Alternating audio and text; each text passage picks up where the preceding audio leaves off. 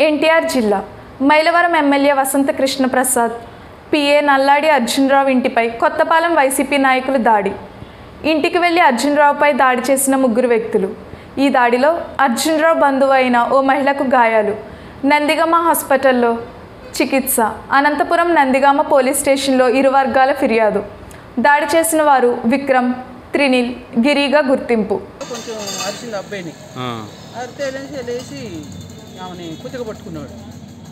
ఆ కుతిక పట్టుకునేటప్పుడు మా అల్లుడు ఈ అబ్బాయి పోయి మా అత్తయ్యని కుతిక పట్టుకుంటావా? అని చెప్పి ఈ అబ్బాయి అబ్బాయిని పట్టుకున్నాడు.